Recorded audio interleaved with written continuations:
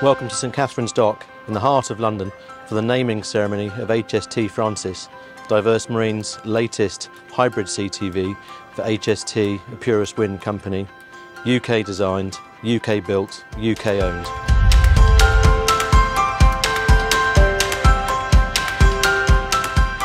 I'm Tom Nevin, I'm the CEO of Purus Wind and HST.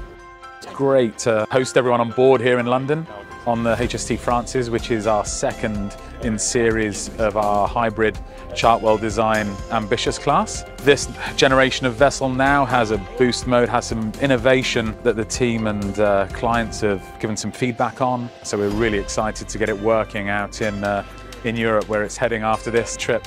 We're just about to name HST Frances, exciting moment and the culmination of a year's work. This is a great British success story. This is a cutting edge vessel made right here in the UK by skilled workers at the Medina shipyard. I name this vessel HST Frances.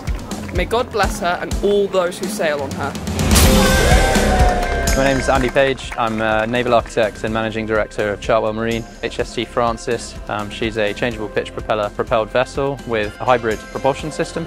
As well as fuel reduction, one of the other significant gains is, is the noise levels on board the boat. When we're on electric only, so that's an extremely quiet vessel.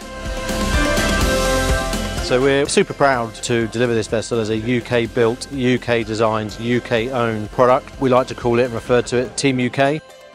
Fantastic to catch up with ministers and officials who are responsible for shipping in the UK to see the product, to see what we're actually producing in the UK, the quality, what we can do and drive the industry forward.